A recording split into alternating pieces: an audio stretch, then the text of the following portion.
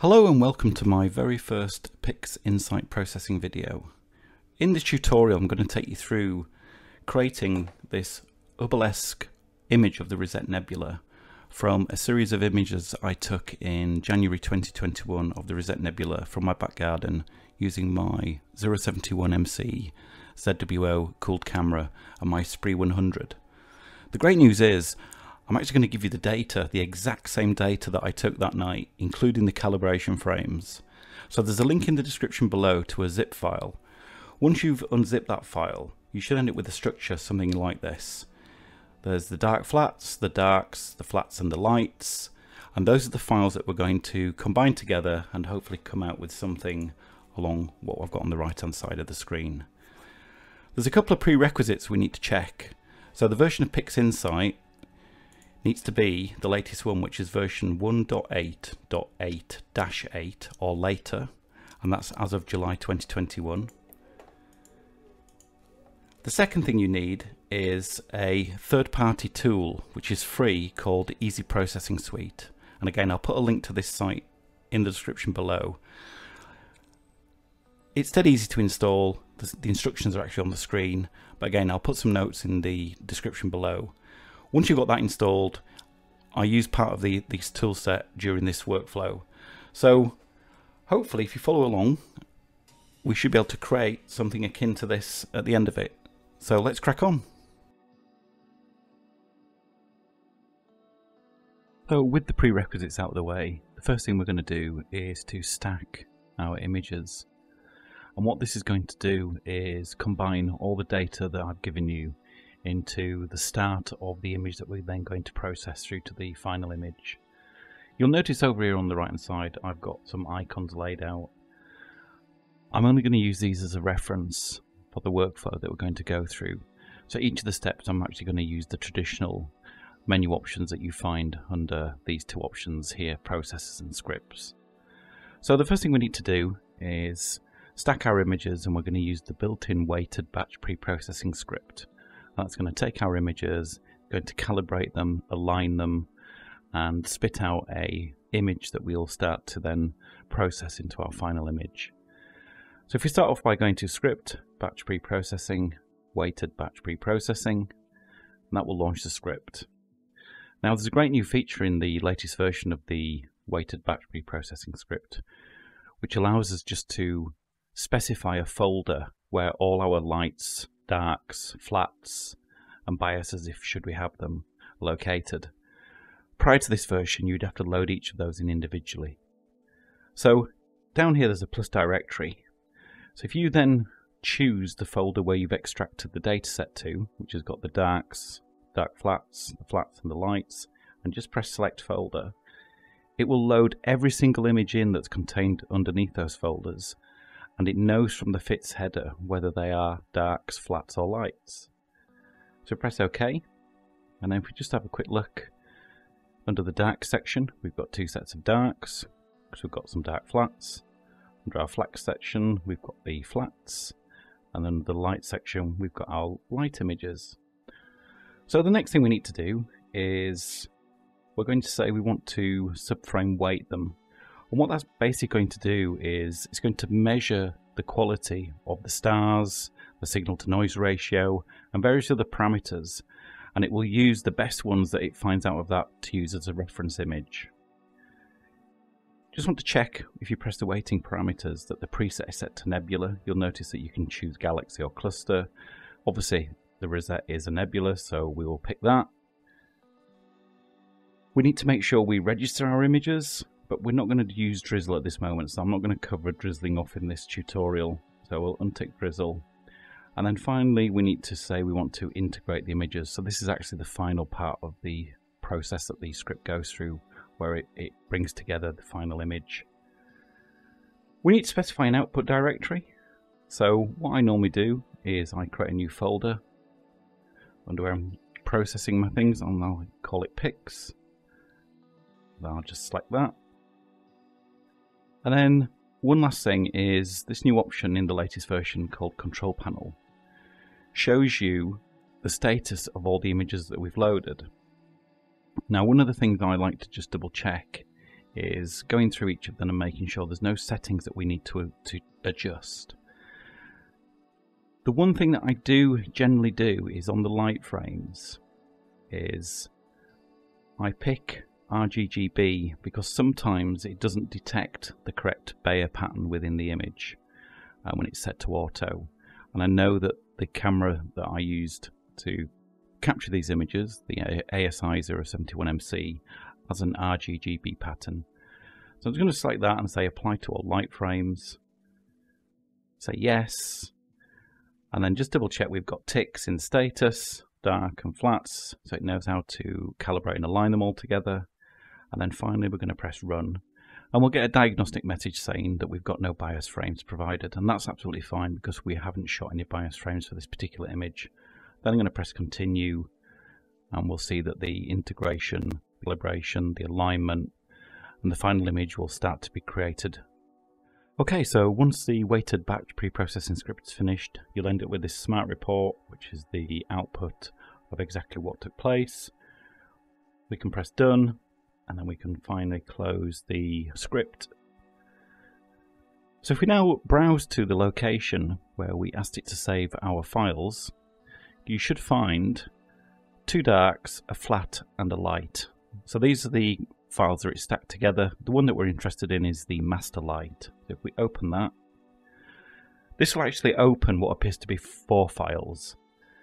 These are the rejection files that it took out during the stacking process. So we close those down and the one we want to be left with is the one that's got integration in the title. And if you do a quick stretch of that, we'll see that's the result of the weighted batch pre-processing script and the image integration that it's done.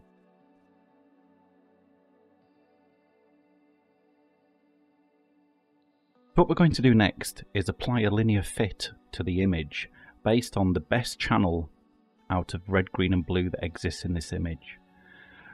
So we want to look at the statistics of each of the channels. So if we go to processors, all processors, statistics, and if we pick our image, what we're looking for is the lowest mean value in these three. And we can clearly see it's the red channel. It normally always is the red channel, but it's worth checking. So we can close the statistics down. We now need to extract the red, green and blue and apply the red channel ADU to the green and blue channels. So up here on the toolbar there is split RGB channels and we'll get three new windows, one for red, one for green and one for blue. If we now go to processors, all processors, linear fit, we want to pick the red channel as our reference. So we come in here and pick R, press OK, and then we simply execute that on the green channel. We know it's the green channel because it's in the title bar and then we do the same for the blue channel. Only takes a couple of seconds. We can close the linear fit down now. Now what we want to do is to recombine the red, green and blue back into an image. So we go to processors, all processors, channel combination. And for the red, we want to pick the red it usually does a good job at working out which is which. However, if you leave it on auto, it doesn't seem to. A bit strange. So once we've got that, if we hit the apply, not that one, apply global, we end up with a new image. We can close down now, just for tidiness, red, blue, and the green. And I'm actually going to just minimize this because this is no longer our current image. Image 08 is. We have a quick stretch of that looks basically the same but the background ADU has been manipulated on the green and blue channels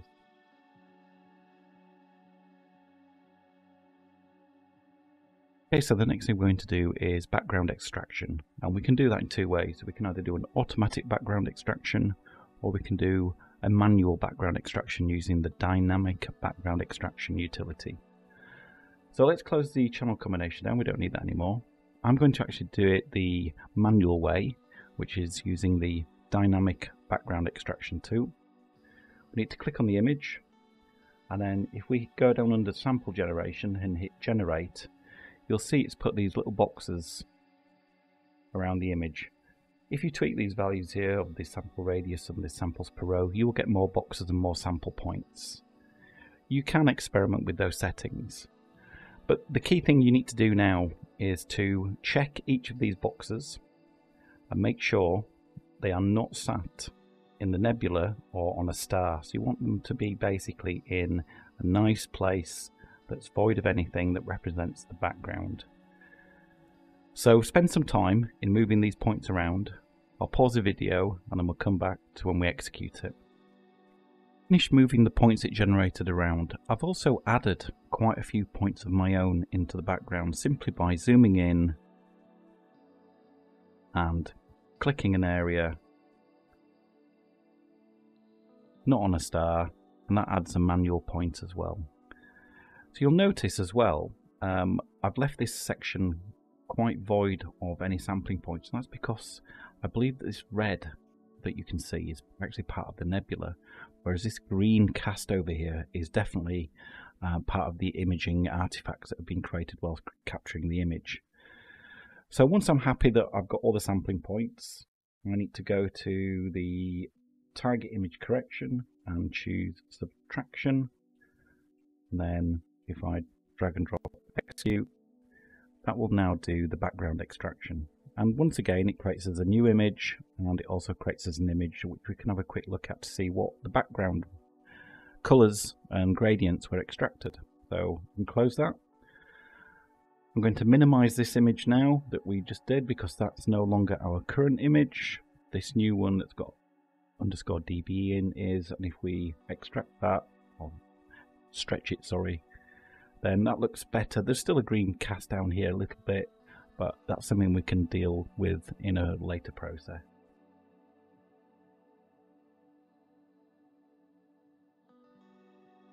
So a couple more things to do here. We'll close down the dynamic background extraction. We'll go to processors, all processors, background neutralization. We'll just neutralize the background. And then you'll notice the green cast has come back ever so slightly. We'll go to processors, or processors, SCNR. Color to remove green. And we'll drop that on there gets rid of that green cast. So at this point, I'm going to actually change the identifier to RN instead of image08 DBE. And then I'm actually going to save the file. So this is something I do quite often, is I start to save my files at regular points. So even though you can go back using undo in PixInsight, I find saving a file makes me feel a little bit easier in case something goes wrong. So I'm going to call it RN for Rosette Nebula DBE, background neutralization, and make sure we save it not as a PNG right now, but as the native XISF format. Okay, let's move on to the next step.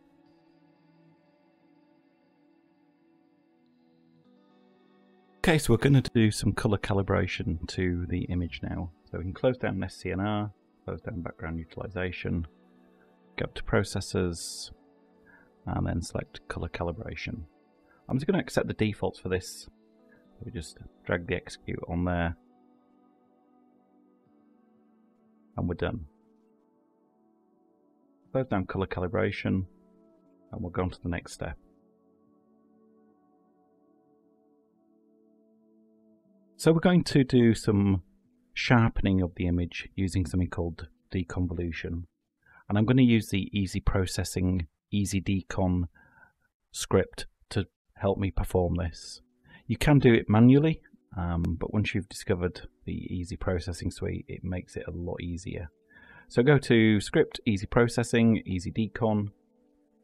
I understand. And the first thing we need to do is in this top view option is pick our main image and it will show a preview over here. I'll just move these things a bit more central. And the first thing we need to do is create a star mask. And if we hit new, create new process star mask, this will invoke StarNet++ to extract the stars from the image and leave us with a starless background. Don't worry, the process will put that back in later on. I'll pause the video here because StarNet can take a little while to run. Okay, so once the star mask has been generated, you'll notice it's filled your image with black dots over in the preview. Don't worry about that, that's what it's meant to have done. And you'll have these windows open behind the scenes with the actual star mask. Again, don't close these down. So we now hit the deconvolution tab, and we need to now generate the point spread function for the stars. I won't go into the technical details of what this is doing, um, but you may need to tweak these values here um, it'll tell you over on the left hand side in this window when it starts to run if it can't detect enough stars. This should only take a few seconds. Again, depending on the speed of your PC. This, as you can see, however, it's detected 2,311 stars. So I'll pause the video until it's caught up and we'll get on to the final stage of deconvolution. Okay, once the PSF has been generated, you should end up with what looks to be a star in over here and another little window over here. Again, don't close these. And then we're ready to do the final phase, which is to actually run the final process within the deconvolution script. Um, we can do an evaluation and that will actually show you what it's done as a preview over here, what the results will be, or we can just get on and run it. So for this purposes, I'm going to leave everything as default and I'm going to tell it to run. And again, this will take a little while maybe four or five minutes. I'll pause the video and we'll come back and see what we've got.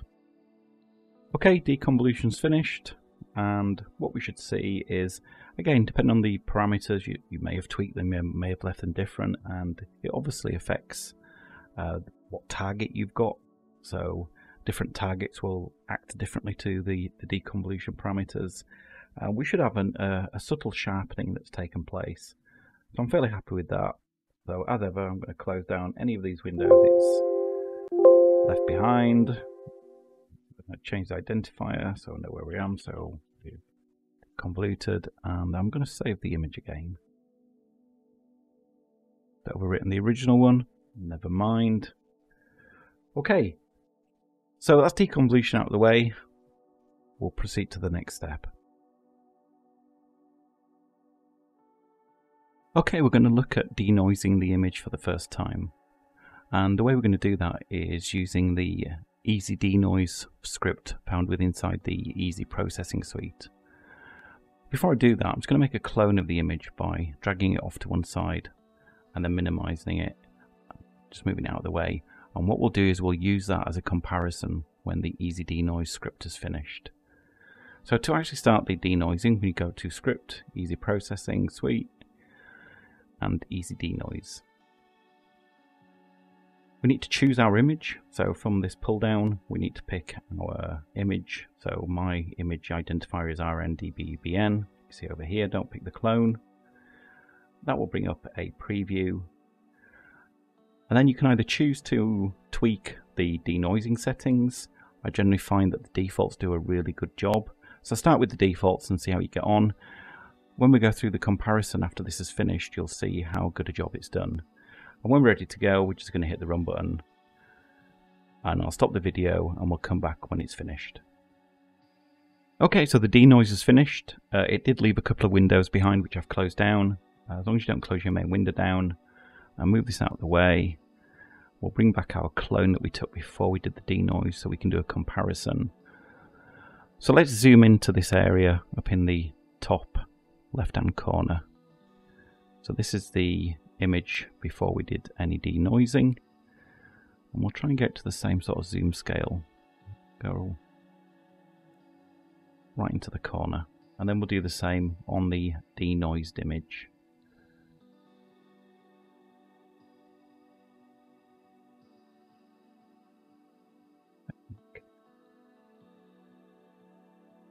On one too far. There we go. So those are zoomed into the same scale and you can hopefully clearly see this noised background that we had in the original has been totally smoothed out by the denoising function. So a really nice job. So happy to close the clone.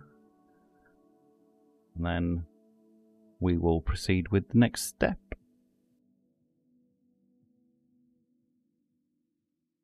So what we're going to do now is permanently stretch the image. The image is currently in a linear state and we want to make it a non-linear state. Once we've done that, the image will be permanently stretched and that will enable us to go on to the next stages. So to do that, we need two tools. Go to Processors and pick the Screen Transformation function and then go to Processors and pick the Histogram Transformation tool. On the histogram transformation tool, change the view to be your image. So first thing we need to do is reset the stretch, form the stretch, and you'll notice it's it's a lot brighter all of a sudden from the previous stretch, and that's just because the previous stretch was a lot less aggressive. Drag this execute and drop it onto this bar over here. You'll notice the histogram appears. reset the stretch and then drag this from the histogram onto the image. The image is now in a non-linear state, so we can unstretch this. Nice and straightforward. I'll change the identifier to be str, just for my own preference, and we'll save it so we know it's been stretched and we can close down the screen transfer function and the histogram transformation tool and we'll proceed to the next step. Okay, so we're getting to the exciting bit now where we're going to start manipulating the colours to give it a more Hubblesque appearance. But before we do that, what we're going to do is remove the stars from the image temporarily um, because that just makes it one, the stars won't be affected by the change that we make, um, and it lets you see what you're manipulating a little bit easier as well. So the way we're going to do that is with the StarNet tool, go under Processors, StarNet. Make sure you tick Create a StarNet mask, and then you can choose what stride you want. Now, the higher the stride number, the quicker it will be. The lower the stride number, the more time it will take, but the better removal it will do. Now, a word of warning, unless you've got GPU accelerated PixInsight modifications, if you go down to say 32, that will take literally an hour on a decent PC. Stick with 128. For the purposes of what I'm going to do, I'm actually going to go down to 32 because I've got a GPU accelerated PixInsight, which will it'll take about five minutes instead of 50. So choose your stride. As I say, choose 1 to 8. I'm going to use 32 and execute it, sit back, go get a drink, go watch some TV, and we'll wait for this to finish and then proceed with the next step. Okay, once StarNet's finished, we should end up with the star mask. And I'm going to just minimize that. Don't close it. We need that. We can close the StarNet program and then I'm going to change the identifier just to make this next step a little bit simpler. I'm going to call it RN. What we're going to actually do is split the RGB channels again and we're going to discard the blue channel but make a new blue channel from the existing green and the existing blue. I'll show you how to do that now. So if we go over to split channels, we should end up with an red, green and blue and you can clearly see there the blue channel is the weakest. So we're going to reconstruct that by combining green and blue together and we do that through pixel math. So under processors, pixel math, this is the expression you're going to need to do that. So make sure you've got use a single expression and we're basically saying here this image, which is rn underscore g, the green channel, add 0.4, so we're doing a blend of 40% of the blue channel with the green channel and we're going to create a new image. So make sure you've got create new image ticked. Don't worry about any of the other settings. Then hit apply. You should end up with a new grayscale image and it's got your number might be 127. Don't worry about what that is, you just need to know that it's got a, a unique name.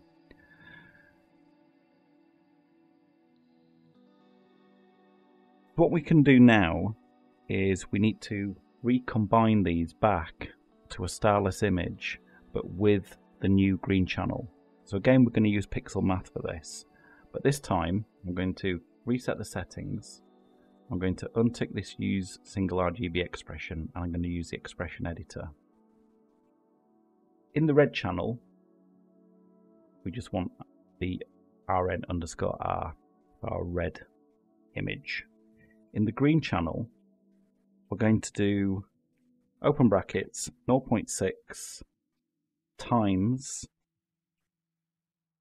the red channel close brackets plus open brackets 0.3 times and then the new image so in my case it's image 127 so this is the new image the new blue image we created and then close bracket and then in the blue channel we just want the new image we created. Press OK. And then we need to say create a new image and we want this time the color space to be RGB. So just to quickly go over that, we've got red in the red channel, we've got a blend of the red and the new blue that we made, and in the blue channel we've just got the blue, the new blue that we made. If we hit apply, we get a new starless image. So we can close these grayscales down, make sure you don't close the star mask down. And I will minimize this. We don't need the new blue channel, and I'll just move that up there. This is now going to be the image we're going to be working with. I'll close Pixel Math, and we'll get on to the next section. Okay, as we're going for that Hubblesque look and feel, we need to start manipulating the curves to adjust these colours. Before we do that, I'm actually going to pop a mask onto it, and I'm going to extract the lightness channel by clicking this guy up here, and we'll end up with a grayscale image. And what we can do now is drop that onto the image, and that will create a mask. We know it's created a mask because this guy's gone brown. Let's have actually look at the mask. So everything in red is protected, everything not red will be attacked. So we'll just toggle the mask so it's not visible. And then we'll bring up the curves transformation tool. So the first thing I'm going to do is adjust the saturation. That will certainly start to make... Oh, before we do that, I'm going to pop up a preview. So I don't want to overdo it but I also want to make sure we get a decent popping to the image. So I brought up the saturation a bit. Let's have a look at what it was before, after, before, after. Then to try and get these yellowy oranges to come in and adjust the green channel, start bringing that up a little bit in the middle there.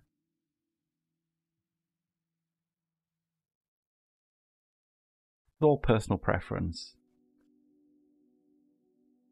And you can spend, I'll say, hours manipulating these, uh, going around in circles. Um, but for the effects of the video that we're doing today, that's not too bad.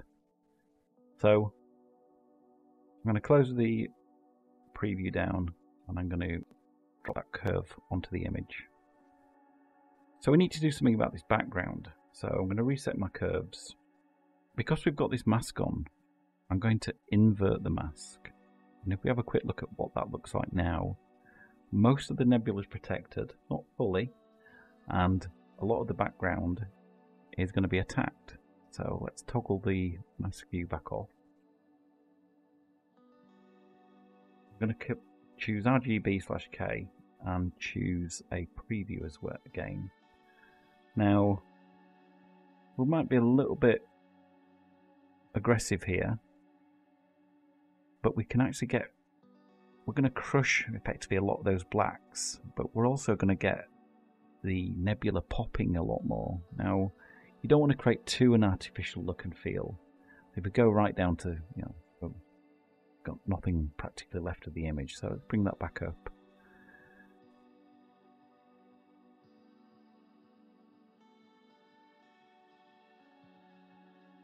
And you notice the image appears to get sharper as well. Ooh. Let's start again. Bring this guy down. Look at what it was before. Before, quite a washed out background. Too bad.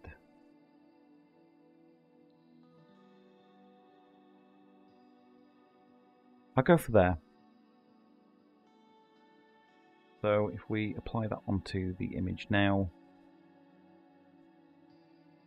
we'll reset the curve. We'll take off the mask. And then I'm going to save the image just in case we want to come back and tweak it.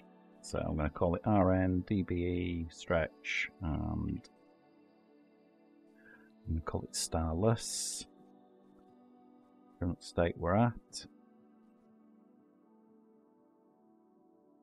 Then we'll go into the next section.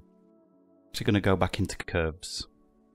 I'm not happy with the goldeny yellow. It's not as pronounced as I'd like, so I'm going to adjust the red channel. Bring up a preview. Let's start in the middle. Just gently lift that up a little bit. And there we've got more orangey glow to those dust clouds on the outside. So close that and we'll apply that. Close the curves transformation.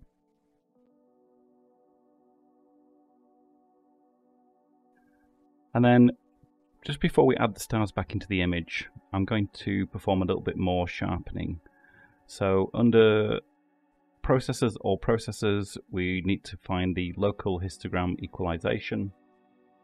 We'll bring up a preview and this will be awful um, and that's because this amount value is set to 1. So I'm just going to slide that right down to, let's try 1.4 to start with.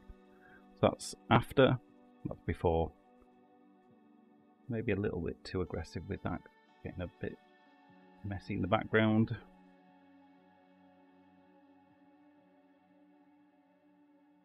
Yeah, quite happy with that effect that uh, created there. So We'll apply that.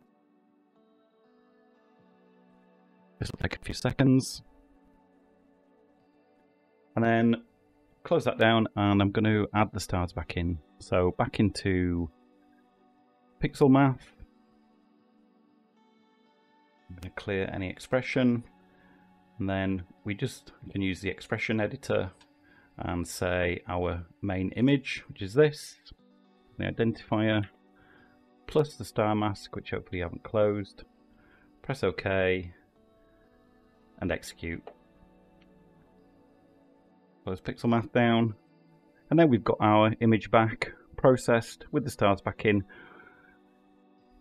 One thing I've noticed is some of the stars have got probably a green cast to them. So what we can maybe do now, just see if we can get rid of that, is to run an SCNR with the green channel. Let's that does. Think it's taken it off ever so slightly. Undo, redo. Not a great amount, but slightly better. So anyway, that wraps up the tutorial. Hope you found it helpful. If you want to have a go with the data I provided and send me your final image, do feel free to do so. I'll put my email address up on the screen now. So uh, again, thank you for watching. If you want to drop a like and a subscribe, it'd be much appreciated. Until next time, clear skies. I will catch you on the other side. Bye bye now.